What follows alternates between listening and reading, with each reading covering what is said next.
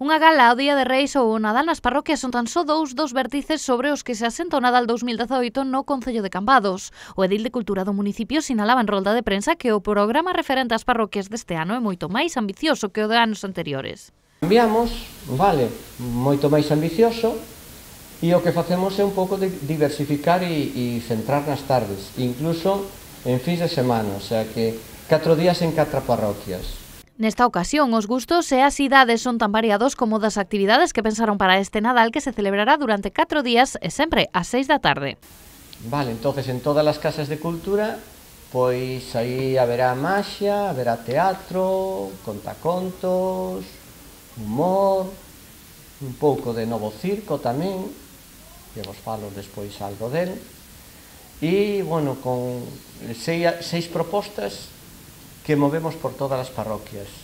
A novidade este ano venda manda Gala de Reis que se celebrará no Salón José Peña e que terá como mestra de ceremonias a Isabel Risco.